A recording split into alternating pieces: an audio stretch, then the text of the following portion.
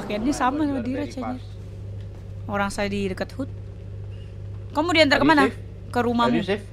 Ya, safe lah. Maksudnya gini know. loh. Aku pun Gimana? dep aku DPO kan, cuma aku nggak sembunyi Yes. juga sih. Terakhir kali aku bersembunyi pakai locals pun juga bakal ketangkep kalau udah waktunya. Jadi aku ya, ya udah. Paling mempersiapkan anak-anak buat segala situasi sih. Oke. BTW. Good? Dup? BTW eh, DOJ Hmm.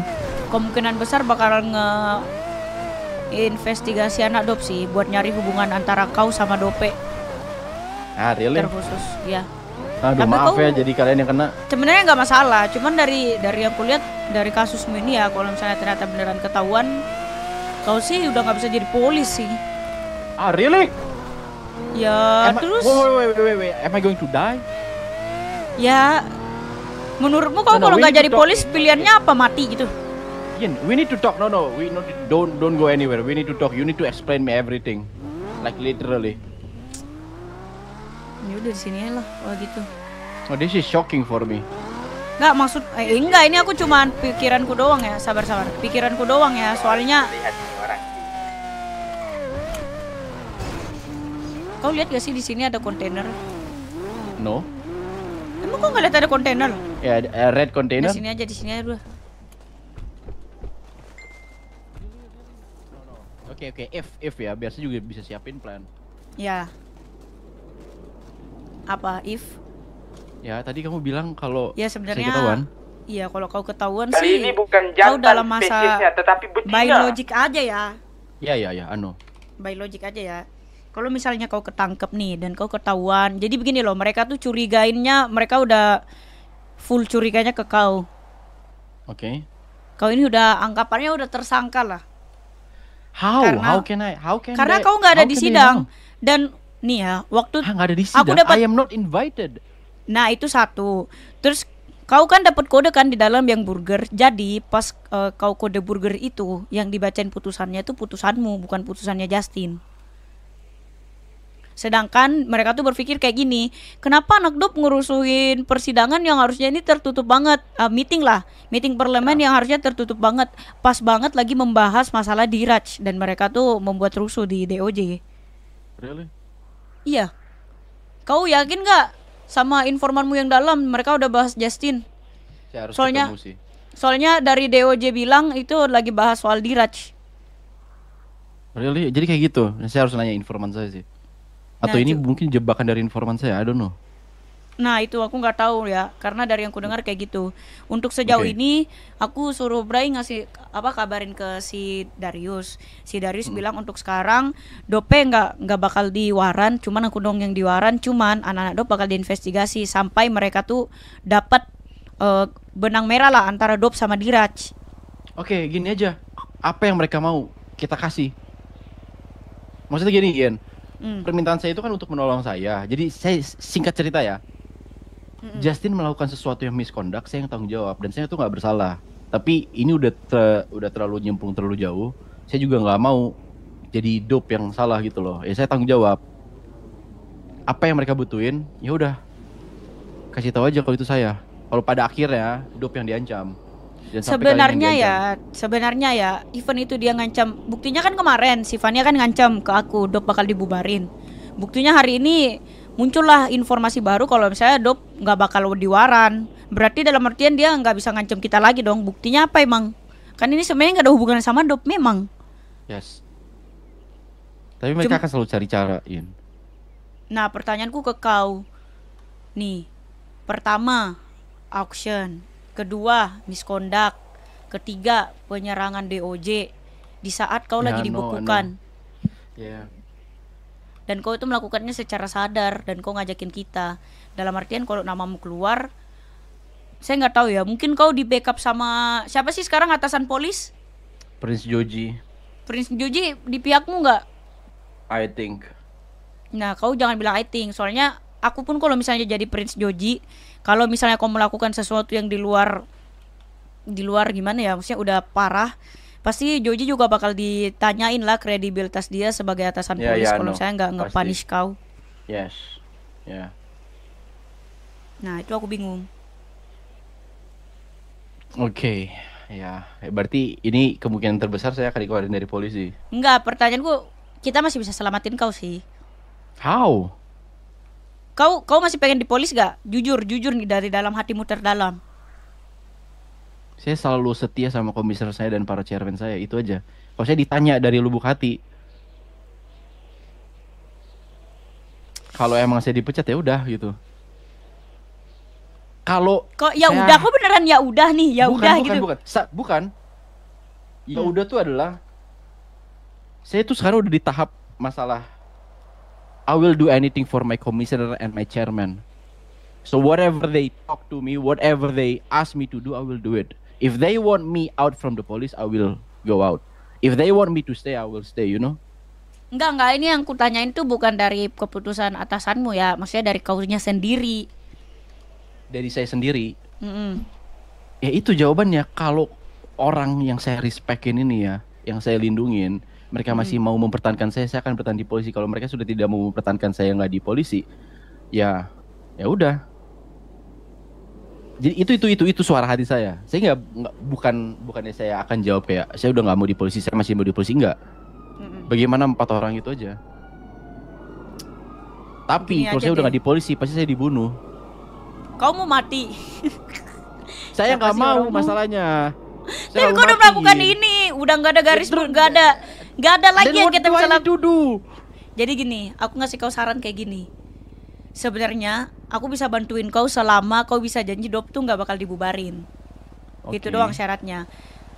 Ini aku juga baru dapat duit 10 juta nih dikasih sama Ming. Really? Iya, gara-gara aku bilang kan kalau misalnya Shenlong tiba-tiba di auction ketiga dia di bid, aku bakal ngebeli Shenlong. Makanya dia Oke. ngasih aku 10 juta. Hmm. Emang bakal ada auction ketiga? No. Enggak sih, iya kan? Enggak kan kita plan kita? Nah, jadi menurutku ya, event itu aku pun ketangkap, aku bakal bisa bayar denda. Oke. Jadi nggak masalah. Pilihannya kayak gini aja. Asal dop nggak bubar, aku bakal bantuin kau karena menurutku polisi butuh kau ya. Nggak sih aku yang butuh kau di polisi. Apa gimana? Kau jangan keluar polis. Apa pun yang terjadi jangan keluar polis. Ya kalau mereka menent- menentukan saya keluar dari polisi gimana Yin? Kamu nggak lihat saya panik sekarang. Nih, ya. Saya mau bertahan di polis misalnya, tapi dari komisar saya tidak mau mempertahankan saya. Terus saya harus gimana? Hmm, kalau saya bilang kambing hitamin aku aja.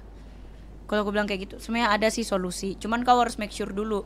Aku bisa ngasih kau solusi, tapi kau harus make sure dulu Apa? si Prince Joji ini di pihakmu atau enggak. I don't know. Yes, yes, yes, yes.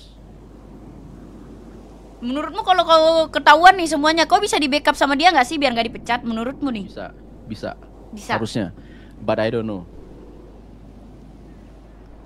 Aduh, kamu kotor banget sih. Kamu kotor banget Diraj, anjir. You don't know everything about me. I never wanted to do this, Yin. And I cannot tell you everything, you know. Jadi selama Sama kayak- sebenarnya kau aman sih harusnya ya dari penyerangan ini pun maksudnya kalaupun kau ketangkep ya masih bisa lah kita mengelak gitu loh walaupun mereka maksa banget biar kau yang rencanain gitu loh skenario nya gitu. Cuman kalau sampai auction ini ketahuan dan kau orangnya sih itu wah, kau kacau sih. Auction itu nggak akan ketahuan karena apa? Kita akan melakukan penculikan ke Fanny, habis itu udah, uh, udah kan? Dan penculikan terhadap Fanny ini harus Besok ke chairman besok. Setelah itu kita akan menghilang dulu. Kemungkinan kita ketahuan besok kalau kita culik kita mereka ada backup, saya ketangkep udah itu tamat.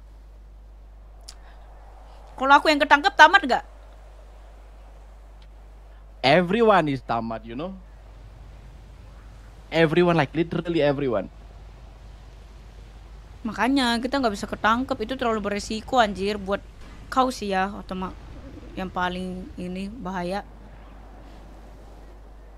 Saya boleh minta tolong nggak Yun? apa? Kalau saya udah nggak di polisi, saya dihukum mati atau apa selamatin saya. Tapi kau pun diselamatin dari hukuman mati terus apa? Kau mau jadi DPO seumur hidup? Nah, oke then. I'm just going to face my life, you know. Nggak aku bakal nyelamatin. Cuman terus apa? Kecuali kau bisa yakin kau bisa mungkin ganti identitas kak, aku bakal nyelamatin kau. Masalahnya kalau untungnya ya di anak-anak dop tuh mereka tuh kayak saking solidnya mereka tuh lebih milih kayak misalnya nih aku bilang selamatin aku dong mereka tuh nggak bakal nanya alasannya dulu mereka Hmm. dalam pikiran mereka tuh Yinin dalam bahaya apa pun alasannya harus diselamatin itulah bagusnya anak dop jadi mereka nggak bakal nanya kok bisa Yinin dalam bahaya Hmm. Hmm. nah itulah intinya jadi kau hati-hati aja lah pokoknya kalau kau udah di ujung tanduk kau baru telepon aku Yeah, if I can, you know. And then I don't know what to do. soalnya But- dari yang ku dengar DOJ tahu kau masih di Los Santos Really? How they how do they know? Iya. Mereka tahu lah, buktinya mereka mempertanyakan, mereka nanya anak dop semua di mana Diraj, di mana Diraj. Itu Sedangkan mereka tahu kan kau di Indi. Jadi ada anak dop eh, yang dekat sama anak DOJ. Oke. Nah, Saya lagi bawa dia- makanan di situ.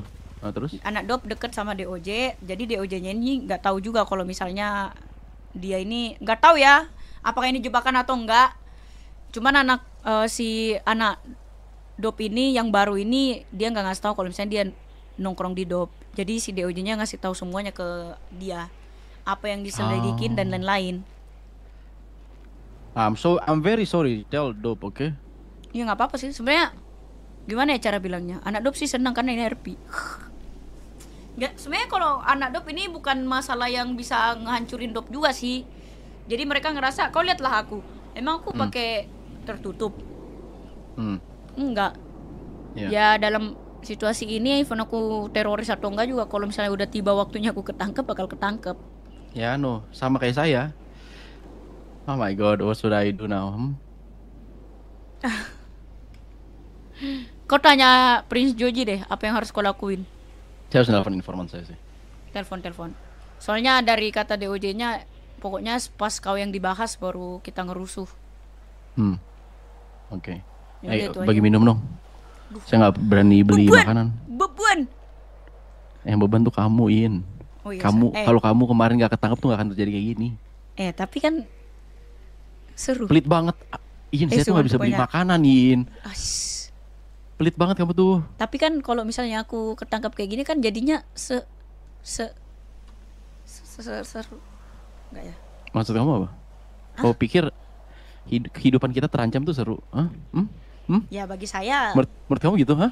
hidup kamu itu nggak akan menyayangi, berwarna. kamu kamu nggak menya, nggak, kamu nggak menyayangi nyawa kamu, hah? Saya tuh menyayangi, cuman entah mengapa firasat saya mengatakan kalau nyawa saya itu di tangan teman-teman saya. Selama ada teman-teman saya, saya akan baik-baik saja. Saya yang nggak ada yang bisa udah backup sekarang. Ya udah, mampuslah kau. Yang penting saya aman. Seru lah kan RP. Iyalah. Udah.